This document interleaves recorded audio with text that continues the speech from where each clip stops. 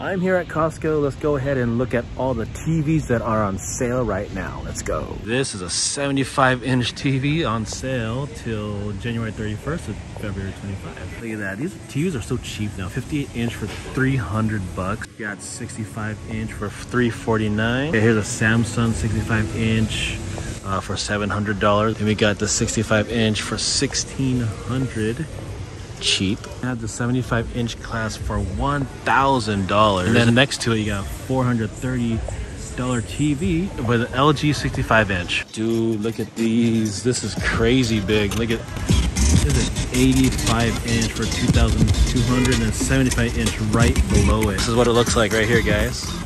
That is ginormous. Here, oh, this one has a star.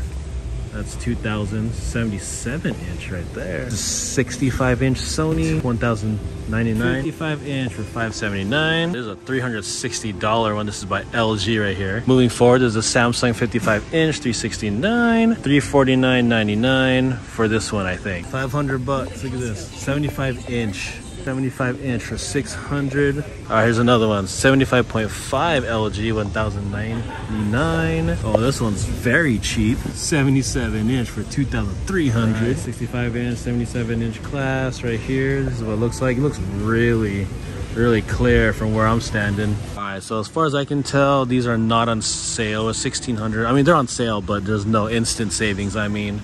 So that's that right there 48 inch for a thousand. That's actually not bad. 1300 for 85 inches. Look at that this one looks nice. 86 inch for $1000 that's cool. I like this one. I wish i had this one. Ooh, that's not bad. 260 bucks for a 55 inch hisense. There's a $400 samsung 65 inch 4k okay if you want to see more savings click around right here and i'll see you over there